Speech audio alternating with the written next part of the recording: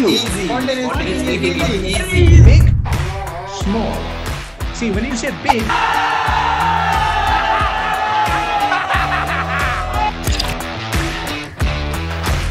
A quote that inspires me a lot is a Chinese proverb and it says the best time to plant a tree was 20 years ago.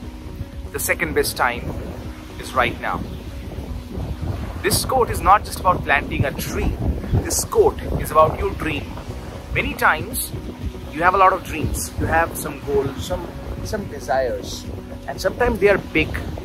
You know, you want to achieve that financial freedom, you want to achieve the, the dream body, you want to achieve that, that confident mindset, or you want to be a powerful speaker. But here's what I can tell you. The best time to plant a tree was 20 years ago. The best time to do that was 20 years ago. The second best time is right now. Don't waste any more time in your life. It's time for you to thrive. It's time for you to take action right now. Don't think I've wasted a lot of time. Yes, you have. And you are paying the price for wasting the time right now. But if you wait more, then you wait more and more and more. Um, there was a famous piano teacher once, and a student came to him and said, uh, "If I want to learn the foundation of piano, how much, how long time will that take me?"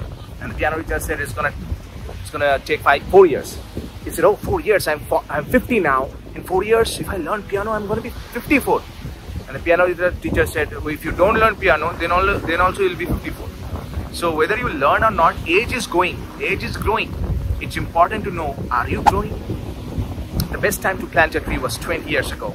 The second best time is right now. The best time to be a great speaker was 5 years ago, 10 years ago, 20 years ago for some of you.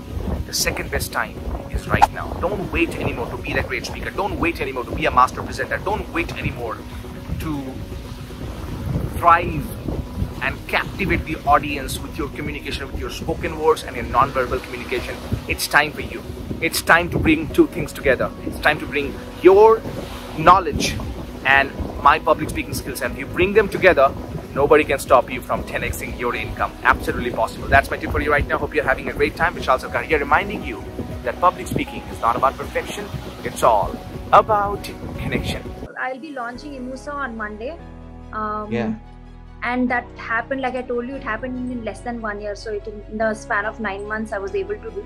And first time I completed a task which I Awesome. wanted to do. Like I had many ideas, but I never got it implemented.